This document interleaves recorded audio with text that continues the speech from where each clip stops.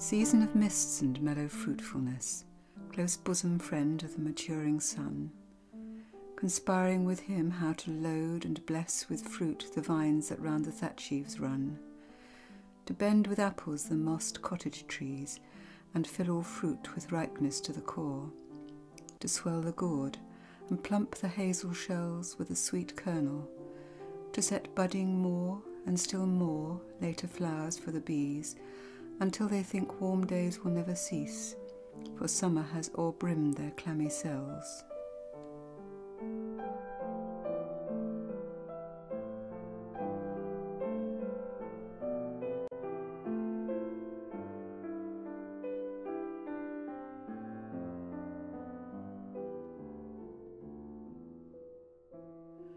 Who hath not seen thee oft amid thy store?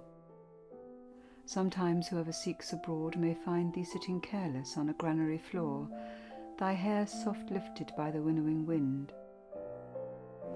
Or on a half-reaped furrow sound asleep, drowsed with the fume of poppies, while thy hook spares the next swathe and all its twined flowers. And sometimes like a gleaner thou dost keep steady thy laden head across a brook, or by a cider press with patient look Thou watchest the last oozings hours by hours.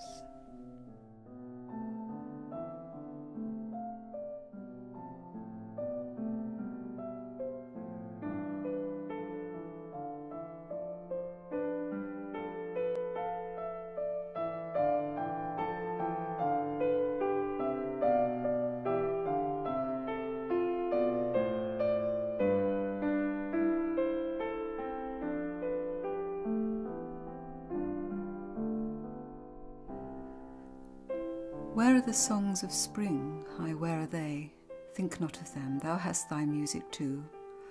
While barred clouds bloom the soft dying day, and touch the stubble plains with rosy hue.